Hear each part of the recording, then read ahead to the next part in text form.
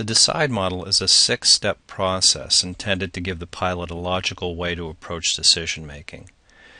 The six steps are a continuous loop in the decision process and can be used to assist the pilot in making decisions about certain situations.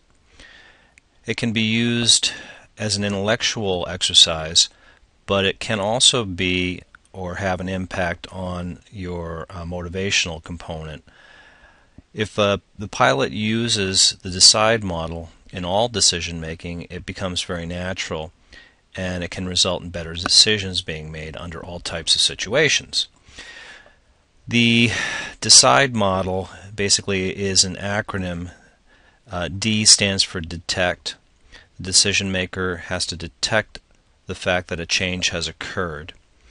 E stands for estimate. The decision maker estimates the need to react or change. C stands for choose.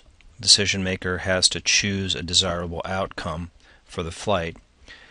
Identify I stands for identify. The decision maker then identifies actions which could successfully control the change. D stands for do. The decision maker takes action. And E stands for evaluate. The decision maker then evaluates the effects of the action.